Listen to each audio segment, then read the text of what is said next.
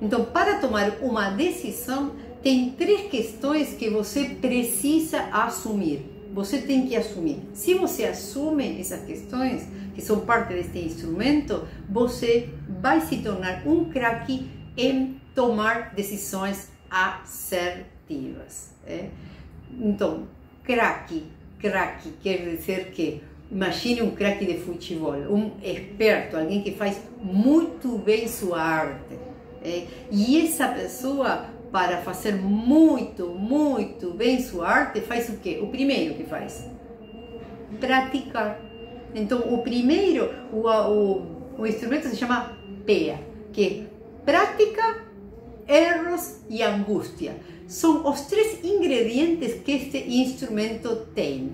Então, para eu sair da agonia da decisão certa, eu preciso aplicar este instrumento. Este instrumento tem três ingredientes, três, três ingredientes?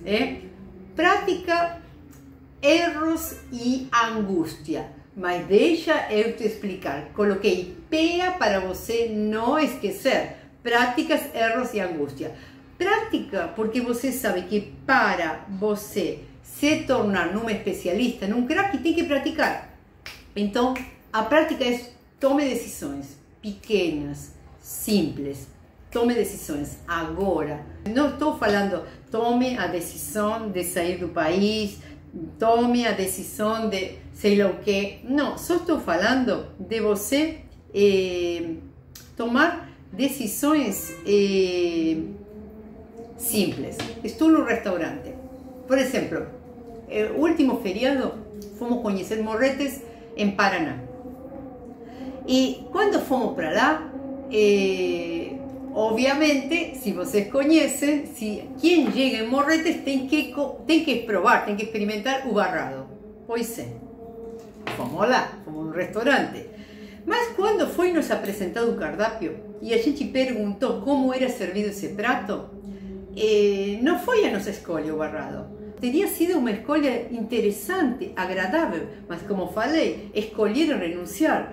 Eh, por que nós renunciamos ao barrado? Apesar de que estamos num lugar que seria o ideal conhecer essa comida tradicional, que é no único lugar que se serve, que talvez a gente não vai voltar logo nesse lugar, por que nós escolhemos não eh, pedir barrado?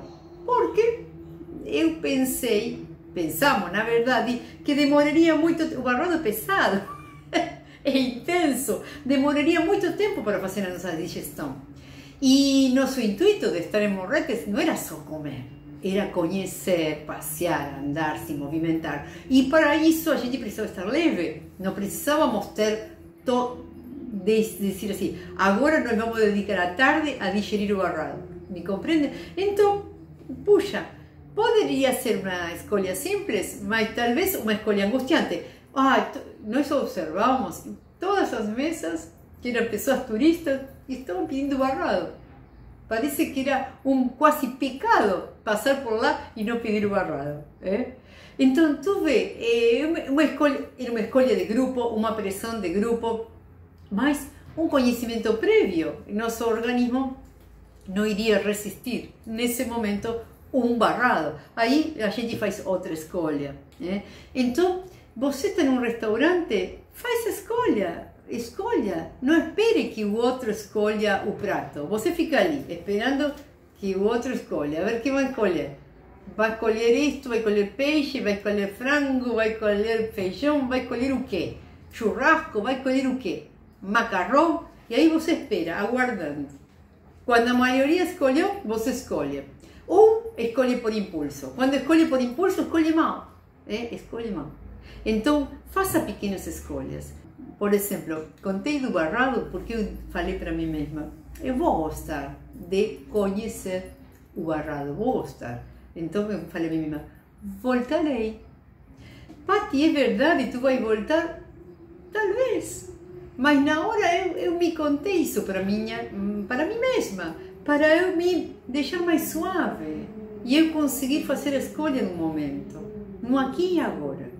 Isso cabe para mim, isso é, faz sentido para mim. ou é uma coisa do grupo, da minha cabeça. Ai, mas uma parte de mim, puxa, estou aqui. Então voltarás, tu vai voltar. Não é o fim do mundo. Não é a única vez que tu estarás por aqui. Então, escolhe por hoje. Escolhe por esta vez. Olha um cardápio com tantos pratos que tu tens. Escolhe por hoje. Como está te sentindo hoje? O que tu precisa hoje? Tu vai voltar. Se não é ali, voltará em outro lugar. Então, deixa mais suave essas escolhas. Mas escolhe, pratica, simples. Vou por caminho A ou caminho B? Pode ser que o caminho V que você escolheu demorou mais, te levou mais tempo para chegar, não foi tão satisfatório, mas você escolheu e você ganhou uma experiência. E por que estou te falando isso? Porque o segundo ponto, erros. Não tem como avançar e ser um craque em tomar decisões se você não cometer erros. Como você acha que eu sei a questão do barrado? Como você acha que eu sei? que se eu escolhi o barrado, iria passar uma tarde ruim. Eu sei porque já fiz. Não fiz com barrado, mas fiz com outras escolhas. E eu estraguei, eu sei, eu conheço, hoje, hoje eu conheço meu metabolismo, o tempo que demora a minha digestão, como muda meu, meu humor, meu estado de ânimo, eh, dependendo do alimento que eu vou ingerir. Né? Isto é algo que também nós temos que falar, como muda esse meu estado de ânimo, meu humor, minha disposição, dependendo do alimento. Mas isto eu aprendi com a vida. E se estou falando que aprendi com a vida, quer dizer que cometi erros. Então, nesses erros, eu aprendi a decidir melhor. Então, precisa praticar e precisa saber que vai cometer erros. Porque se alguém vinha de fora e me falava, Pati, olha, eh, vamos, vamos dizer o garçom, vem com seu cardápio e me mostra. E me disse, me mostra essas fotos maravilhosas, me mostra como vai me trazer esse prato na minha mesa. E depois que ele me mostra tudo isso, disse, mas olha, senhora, melhor você não comer isso hoje, porque você vai ficar indigesta, não vai conseguir fazer as trilhas que você quer, não vai conseguir. Olha, Imagina se isso cabe, imagina se eu ia dar um, imagina se o garçom iria fazer isso, mas hipoteticamente, eu iria dar um crédito? Ou alguém da minha mesa me disser isso, eu, eu iria, não, não era uma coisa muito adequada, isso aí. Então, eu precisei aprender com a minha experiência. Minha experiência me levou a aprender que quando eu fiz escolhas exageradas em momentos inadequados, eu passei mal e perdi alguma oportunidade que era melhor para mim, que era curtir o lugar, por exemplo. Eu priorizava prioridades, curtir o lugar que ficar conhecendo um alimento típico tradicional. Né? Então, erros eu vou cometer. Mas como? Por que, Pati, tu está falando isso? Porque vocês se lembram como nós começamos? que esse problema da agonia da decisão certa traz consigo uma indecisão e uma impulsividade. Indecisão, angústia e impulsividade. Então, eu preciso me adiantar, eu preciso me antecipar. Então, se eu já sei que vou cometer erros, uf, já relaxo. Eu sei que vou cometer erros. Só que eu vou procurar que esses erros não cobrem um preço muito alto para mim. Então, para que isso não ocorra, eu não posso deixar passar o tempo, porque se eu deixo passar o tempo, a angústia chega até, até aqui, ou seja, já a água chegou pela boca, estou me afogando e eu tomo uma decisão erradíssima, porque eu tomo uma decisão por impulso. Eu tomo uma decisão por impulso. É. E cada vez que eu tomo uma decisão por impulso, eu tomo uma decisão muito errada, que já, já limita com o perigoso é, que me danifica, que me causa dano, é, que me atrapalha, que me, me faz perder tempo, anos, amizade, sei lá o quê. Então eu não posso tomar uma decisão impulsiva, na impulsividade, quando a água chega aqui. Eu já sei que tem angústia. E eu já sei que fico indeciso, indecisa por medo a cometer erros. Então eu já assumo. Eu preciso praticar e eu sei que na prática vou cometer erros e está tudo bem. E está tudo bem. eu só posso ser um pouco mais estratega e dizer se eu vou arcar com as consequências. Voltando ao nosso exemplo simples do barrado, eu poderia dizer: eu sei que é uma comida extravagante, que é demais, mas se eu tenho que ficar a tarde inteira sentada aqui fazendo a digestão, tudo bem, eu vou fazer essa escolha. Então, talvez quando os que estavam comigo voltam das trilhas e me contam, ai, que bom que conhecemos esse riacho, a gente andou por aqui por lá, e eu sentada assim com um barrigão tremendo, eu diria, uau, que erro que eu cometi, eu teria que ter comido menos para sair com eles nas trilhas. Mas eu preciso aprender e é o erro, é o erro, o tamanho que estou disposto a pagar. Eh, só coloco como exemplo. Eh? Eu tenho que ter uma certa medida do erro. Eh? Para que não seja um erro irreparável quando é um erro cometido pela, pelo excesso de demora e seu contraponto à impulsividade, me entende? É um erro possível, vamos dizer. É? Então, prática, erro, porque cabem erros possíveis, e agora a última é angústia. Pati, angústia. E você é ansioso.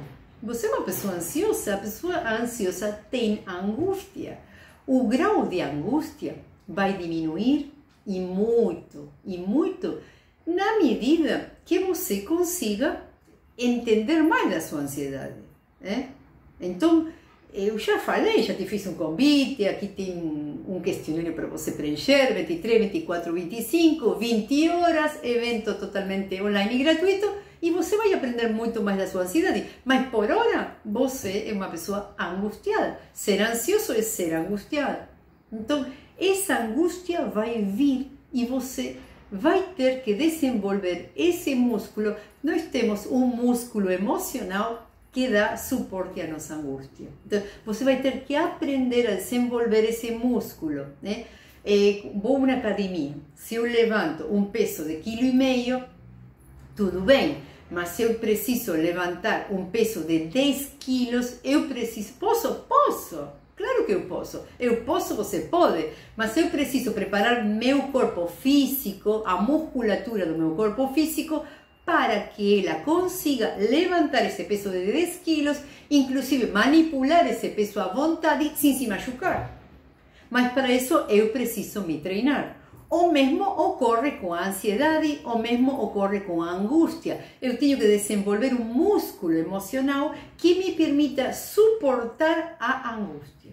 Então, este aparelho que estou te mostrando, este instrumento, é um instrumento de três partes que consiste em prática, que consiste em você vai cometer erros, vai, mas serão erros ponderados, não serão nunca os mesmos erros que você acomete quando está circunscrito no círculo vicioso da agonia da decisão, que são erros tremendos, porque esses erros são a causa da sua extrema indecisão, que levanta níveis exorbitantes de angústia e você vê-se a reagir e a escolher por impulso.